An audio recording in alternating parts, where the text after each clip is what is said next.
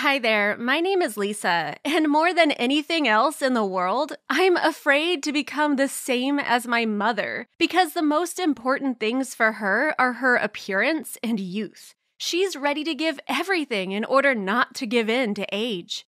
To be honest, I don't understand why a beautiful and charming woman is constantly looking for vices and defects in herself. And most importantly, why? Indeed, seeking for a fictitious image, years pass and valuable time is spent. The reason of my mother's emotions is the heroine of one TV show who began to age very early because of a genetic disease, and at 20, she looked like a 50 year old woman, and at 30, like a 60 year old woman. And now it's hard to believe that she's less than a 100 years old. But she's ill, and my mother is not. Nevertheless, this incident left an indelible impression on her, and my mother began to look for wrinkles on her face every day that were not there. Once she went to a cafe with her friends, and during the conversation, she laughed and saw her reflection in the glass. There were several laugh lines in the corners of her eyes. For mom, that was the real apocalypse. She ran home in tears and began to cover her face with all the creams that she had. And then she started calling her beautician, asking her to give her an injection of Botox right now. And hey, it was night, and such a request was very strange. Moreover, my mother constantly asks me what she looks like, and when I say that everything's fine, she starts freaking out and screaming that I'm lying and just afraid to offend her. After that, she again asks me to answer what she looks like, a real endless cycle. And all these cosmetic procedures went even further until they began to cost my mom $10,000 a month. Can you imagine? Perhaps she would continue to increase the expenses if we had more money. We were forced to start buying only the cheapest clothes that were most urgently needed and live very plainly with no frills.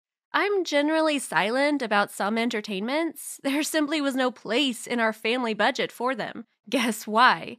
Right, because after my mother's expenses on cosmetic procedures and face products, there was almost no money left.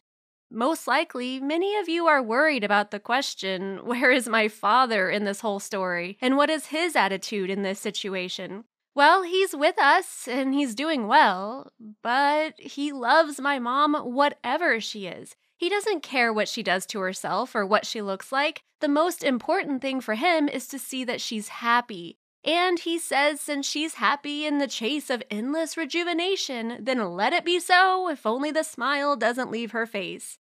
I think everyone was happy with everything in this whole story except me. I love my mother simply because she is in my life, and it doesn't matter to me how many wrinkles she got this year and how old our neighbors think she is. But the fact that my needs and desires generally ceased to be taken into account because of this fuss was very annoying. I'm a teenage girl and I want to dress prettily. I want to go to cafes with my friends and I want to have a cool phone. But instead of this, I have to look like I ran away from the nearest dump. Sometimes I complained to my mother and said that I also wanted to look beautiful and good enough, to which she said that I'm still very young and I don't need it. When I'm the same age as she is, then I can spend my personal money wherever I want. But for now, for now, I'm just a child. It makes me so angry. Once, when my mother was at the beautician's, a capture tact team burst into the building and arrested all the employees of that clinic. Mom at this time had just gone through some procedures and they had to be interrupted. This made her very angry, and she even wrote some complaint against the police officers. Soon, she began to be summoned for questioning as a witness, and then they invited her to file a complaint and become a victim. It was very strange, but the whole thing turned out like this. Security services received the information that doctors in this skincare shop have itchy fingers and use poor quality drugs that could be dangerous to the life and health of patients. Security services began to keep watch on this place. Well, on the day when my mother was there, they decided to take that skincare shop by assault. All drugs and documents were seized and employees were arrested. Many expert examinations and studies were conducted. So, in fact, it turned out that they really used a lot of low quality drugs, which are prohibited in trading at all because they are considered to be life threatening. They used them almost always, but not in the case of my mother, because they gave her injections of plain water. Water, Carl, water. And do you know why? During the questioning, my mother's beautician said that she didn't see the point of spending expensive drugs on my mother because she has very good elastic skin from birth, which didn't need any special care. However, the greedy beautician saw my mother's desire to leave a large amount of money in their beauty salon and the desire to get rid of non existent wrinkles and other problems, so the evil plan instantly ripened in the head of this unfortunate doctor, she decided to give my mother injections of plain water, passing it off as expensive drugs and thus satisfy the needs of a generous client. For almost a year, my mother went there as if for work, two to three times a week for ambiguous, absurd procedures, and spent almost all the money of our family there, enriching the unfortunate beautician. It would probably be logical if mom at least drew some conclusions after that, right? As if she said that there was definitely the effect of the procedures, and now she has to look for a new beautician because otherwise she will turn into a Shar Pei and quickly grow old. And she found him, but not without difficulty because not every doctor is a fraud. So the new beautician fully supported my mom in that she looks shaky and urgently needs expensive procedures that they began carrying out immediately. He also advised her to make an appointment with his friend, a specialist in bioenergetics, who would rejuvenate my mother from the inside. And of course, she ran there the very next day. That specialist in bioenergetics also admitted that the situation was very difficult and the wrinkles of my mom are not only on her face but also on her heart, so treatment should be started immediately. And then he announced a round sum of money for his services. We had to go into debt for my mother's supposed rejuvenation.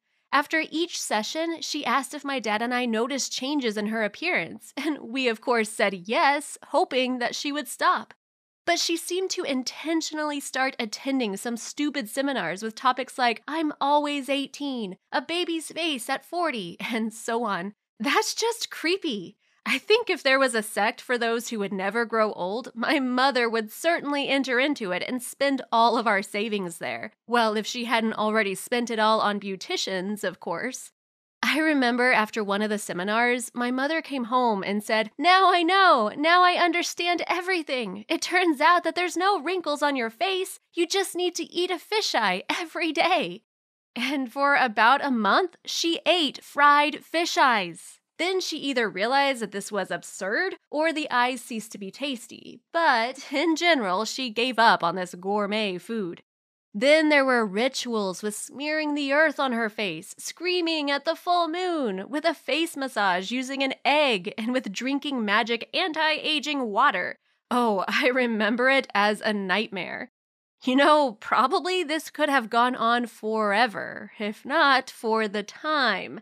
Yes, you heard right. The time partly put things in perspective. Once, my mother stepped up to the mirror and saw real changes in her appearance, and unfortunately, not for the better. The oval of her face changed, a dozen new wrinkles appeared, and she even noticed several gray hairs on her head that day. Horror struck and in tears, Mom ran up to me and Dad and said that she had turned into a grandmother and that her efforts were in vain. Time took its toll. She sobbed with bitter tears and said that now she had no reason to live. Neither my words of support nor my father's words about how much he loves her and that she still remains the most beautiful woman for him helped. Therefore, we needed the help of a psychologist to help mom get out of her depressed state. In my opinion, only after a few months we were able to heave a sigh of relief because we realized that the worst was over and that the saga of our family with beauticians and specialists in bioenergetics was over. At least we hope so. Now she goes to yoga and the pool, dyes her hair, and looks with admiration at her reflection in the mirror. She realized that her age is her wealth and there are pluses in every age. Finally, my mother's eyes shine with happiness and love. Finally, she became real. Now I look at her as an example of femininity and beauty, an example to follow, and not an empty doll. I'm very glad that she returned to us. I hope that when my time comes to face age, I'll be able to get over this test with dignity. I think about 50 years old, I'll step up to the mirror, smile, and say, Okay, Lisa, these are just new wrinkles. You're beautiful. Are you afraid of getting old and the appearance of wrinkles on your face? Share your answers in the comments. Don't forget to like the video and subscribe to our channel.